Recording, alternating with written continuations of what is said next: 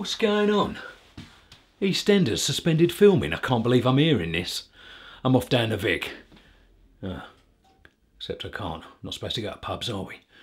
I'm off down to Calf. Ah, except I can't. I'm not supposed to go to Calfs either. Right, I'm going up west. Ah, I can't. The tubes are hardly running and everything's closed. Well, let's have a knees up. We'll get Ian Beale to do the catering and. No, we can't.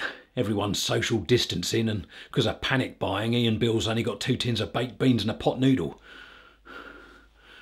Look, we're family. We've got to stick together. Well, we can't have physical contact and we've got to keep two metres away from each other, but we'll get through this. We're Mitchells, and no virus is going to keep us down, all right? This ain't over.